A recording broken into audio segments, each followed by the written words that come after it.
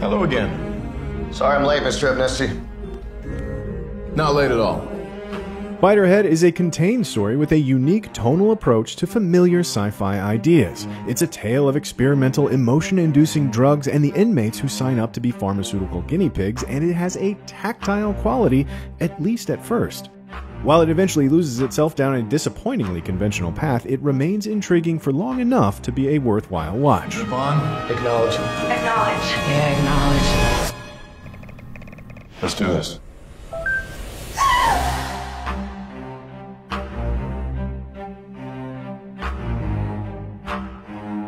After a bizarre opening scene, we're introduced to the Spiderhead, a prison testing site on a lush, isolated island where Chris Hemsworth's charismatic tech leader Steve Abnesti runs novel drug trials with his diligent assistant Mark. However, Spiderhead isn't your average incarceration facility. The prison's incarcerated bodies are at the mercy of an anonymous, unseen corporate board, who use them to test various mood altering substances. To make matters murkier, the prison's day to day demeanors are mostly chipper. Jeff, played by Miles Teller, happily prepares hors d'oeuvres with Jurnee Smollett's Lizzie, whose flirtatious interactions imbue the film with a lively energy matched by its upbeat editing and music choices.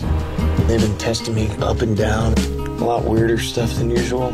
The experiments Jeff partakes in mostly concern a drug that makes him see beauty in ugly surroundings, followed by another that makes him more verbose so he can better describe what he sees. God, she's so beautiful.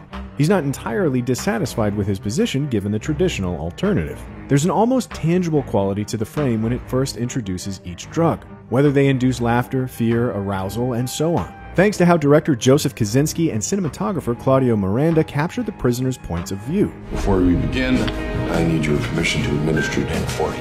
Close ups of clouds and flowers are given a radiant, poetic quality when the inmates appreciate nature. Other prisoners take on a ravishing appearance in moments of mutual, but no doubt manipulated attraction. Come on, guys. Words, words, words. Okay, yeah, she's starting to look pretty good. And mundane objects seem enormous and imposing when the inmates are made to fear them. There's an equally vivid quality to Jeff's fleeting flashbacks, snippets which reveal the incident that landed him in this predicament. These scenes take great advantage of Kosinski's ability to translate momentum and adrenaline. However, the further it goes on, the less it relies on sensory flourishes to unpack its ethical dilemmas. They help establish the story's initial parameters, but beyond a point, they aren't used to actually tell it.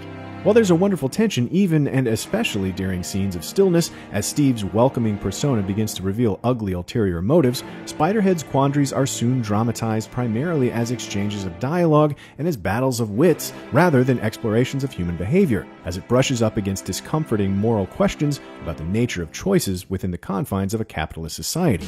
Your presence in this facility, while technically a punishment, is a privilege. While the many twists and turns make for engaging viewing at first, they also get to a stage where the story becomes subsumed by explanation, in a manner that too easily resolves its burning questions. Eventually, revelations play more like flipped switches rather than gradual realizations, and emotional reckonings become external rather than reflective, all en route to an action heavy final act that can't quite reconcile the story's final, ill conceived tonal swing. Our work will save lives. Not just one life, many lives. The subjective approach in the first act makes for an enjoyable bait and switch, lulling you into a false sense of comfort before things begin flying off the rails. Teller and Smollett, charged with capturing lingering emotions and states of being slipping slowly out of their control, deliver live wire performances, while Hemsworth's personable tech mogul proves to be a chilling send up of modern Silicon Valley types. Kosinski may not stick the landing with Spiderhead, but this year, with this and Top Gun Maverick, he's undoubtedly two for two when it comes to placing living, breathing characters in charged environments and forcing them to their limits. Time to worry about crossing lines was a lot of lines ago. An original sci fi film about prisoners, experimental drugs, and the nature of consent, Joseph Kosinski's Spiderhead begins as an engaging sensory experience led by Chris Hemsworth as a slimy tech mogul and Miles Teller as a willing inmate. Despite a few too many conventional turns, it remains a worthwhile watch. We're making the world a better place. What you want is redemption. And this is how you're gonna find it. For more reviews, check out what we thought of Lightyear and Top Gun Maverick. For everything else, stick with IGN. Beautiful people get away with too much, and I say that having benefited myself from time to time.